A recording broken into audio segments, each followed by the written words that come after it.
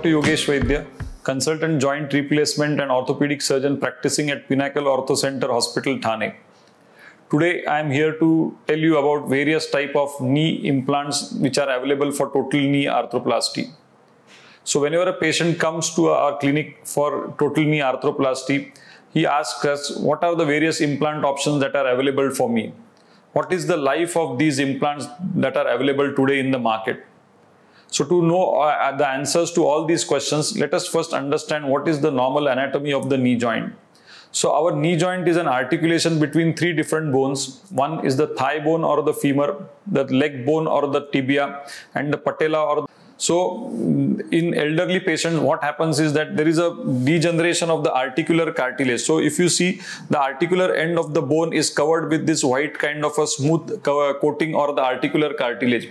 As the age advances, the cartilage gets worn off and so the underlying subchondral bone as you see here this uh, reddish or brownish color bone starts to get exposed.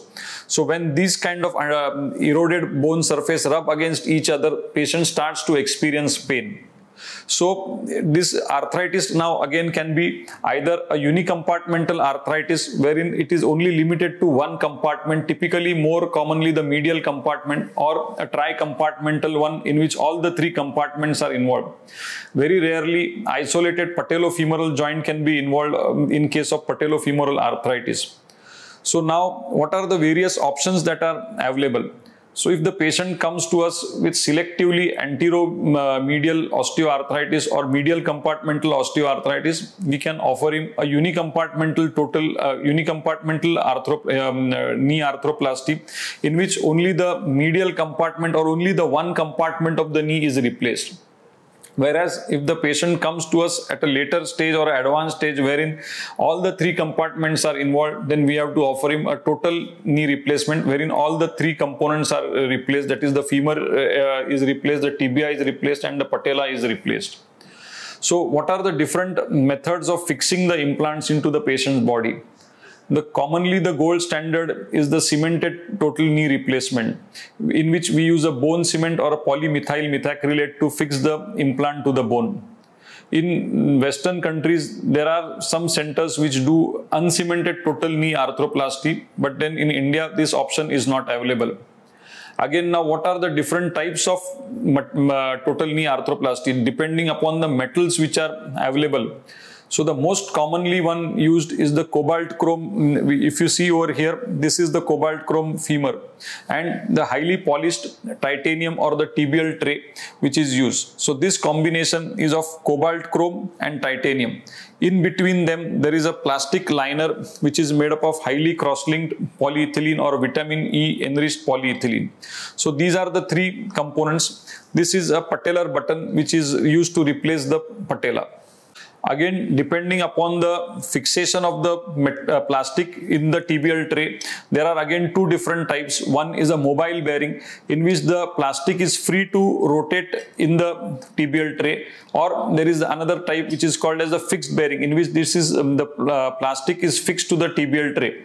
So there are two different types depending upon the mobility. One is the mobile bearing and another is a fixed bearing.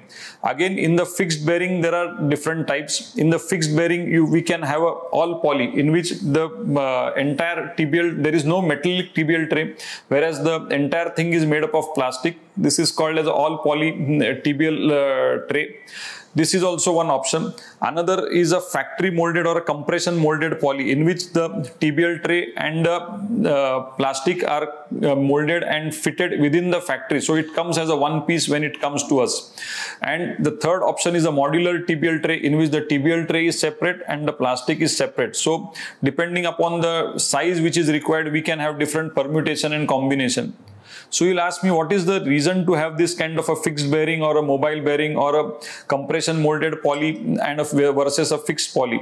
So it is shown that there is something called as a backside wear. You know, this mm, backside of the polyethylene rubs against the tibial tray and produces some wear particles which result in the loosening of the tibial uh, and the femoral implants.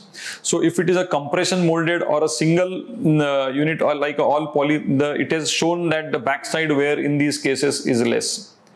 Again, if you ask me what are the newer options that are available, because we see nowadays more and more younger patients coming to us for knee replacement. So we have this kind of a coating which is done on the cobalt chrome, uh, which is called as oxinium. This is oxidized zirconium which is a special technology in which the uh, coating of oxidized zirconium is made on the femoral implant. So this gives it more longevity and more hardness and less wear. This is typically used in patients who are known to have metal allergies because many of uh, times we are faced in scenarios that patients have allergy to some or the other metals. The commonest one is the nickel which is used in these uh, manufacturing of these knee implants. Another option which is there is the gold knee or again this is a not a golden one is not made of gold but then the yellowish color which is there that gives the name gold knee. So what exactly it is? It is a coating of titanium niobium dinitride which is again uh, given over the cobalt chrome femoral uh, implant. So again this gives it more longevity and less allergic reactions. So these newer implants have shown to have a life expectancy up to about 20-25 years in the patient's body. So friends, in case you have any further queries or you need any clarification upon depending upon the type of implants or what the material, you can feel free to contact us or you can visit our website. Hope this was helpful. Thank you.